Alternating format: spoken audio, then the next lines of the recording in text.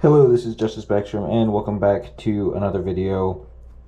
Uh, a couple weeks ago, I did a video explaining why I thought um, 0 to the power of 0 um, would equal 1, and a lot of people uh, commented on that. Um, it got more views than I was expecting. A lot of people telling me, explaining me why I'm wrong, and to be fair, I wasn't doing that as sort of a um, educational video. It was just a thought I had had and wanted to um, make a video about. Really, it was just a filler video. Anyways, but um, what I've come away from this thinking is that there's basically three ways of um, thinking about 0 to the power of 0. Um, one, and this is probably the most common, is that 0 to the power of 0 is undefined because that would require you to um, divide um, 0 to the power of 1, which equals 0. It would uh, require you to divide that by 0 and 0 to um, 0 divided by 0 well division by 0 is undefined. Um, which is fair. The problem I have with this though is that you can do um, 0 to the power of 2 divided by Uh, well, you can have 0 to the power of 2, and obviously you can have exponents of 2, but if you try to reverse that, then you can't reverse it because that would make 0 to the power of 1 undefined. And again, obviously, 1 0 equals 1 0. So 0 to the power of 1 can't be undefined because it is 0. As is every positive number, every positive exponent of 0. Now I can accept that every negative exponent of zero is undefined because I don't know any way to arrive at those numbers other than dividing by zero. But that still leaves zero because zero is um, neither positive nor negative. And most of the rebuttals revolved around this thought that you can't arrive at zero to the power of zero by dividing by zero, because division by zero is undefined. And um, what I was saying was that a 1 is presumed. 1 times 0 times 0 times 0, and um, these are your exponents. You just cross them all off, and you have 0, and you, now you have 0 to the power of 0 equals 1. Now, admittedly, I just kind of came up with that one that doesn't really come from anything. But at the end of the day, we're dealing with um, made up numbers. Zero to the power of zero isn't an actual number that anybody would use in real life. So this is all just kind of ridiculous in its own way. But the other thing was, someone said that you can start with, say, 27, which is 3 to the 3 divided by 3 divided by 3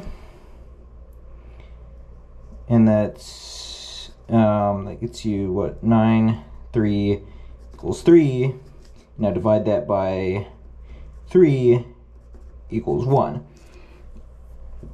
now what I thought is hey if you divide um, if you do the same thing, again, you can't divide 0 by 0, which again would make this, would make every positive exponent of 0 um, undefined.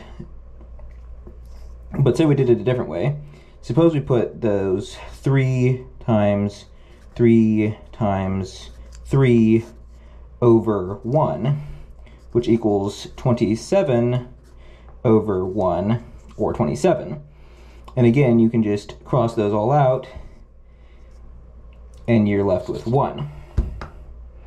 Okay, let's see how this works with our zeros. 0 times 0 times 0 over 1, you cross it all out, you're still left with the zeros. Now to get to the negative exponents, you would have to put 0 times 0 times 0, which is division by 0, so negative exponents are still undefined.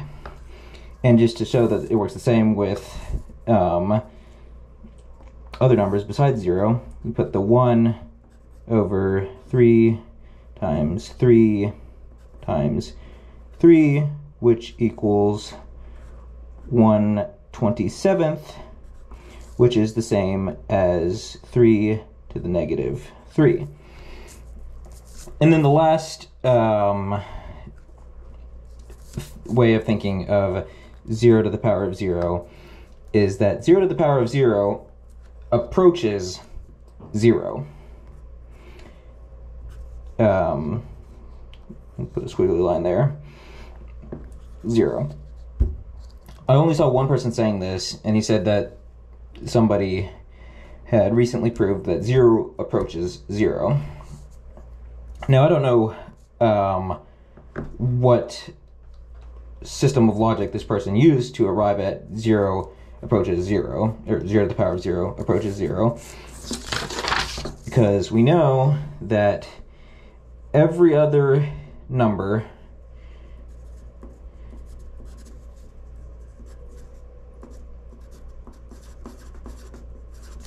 to the power of 0 equals 1. So you can't plot them on a graph and say, okay, here, let's make a graph here. You can't plot them on a graph and say that x to the 0 approaches 0 because x to the 0 by plotting every um, here, we have, we have x to the 0.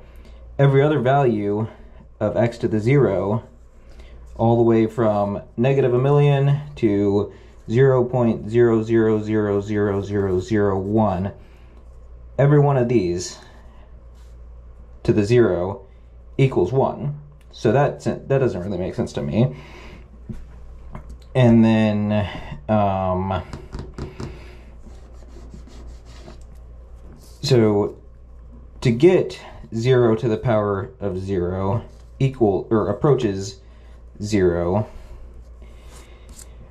the, the problem I have is that you have to do this without doing any math.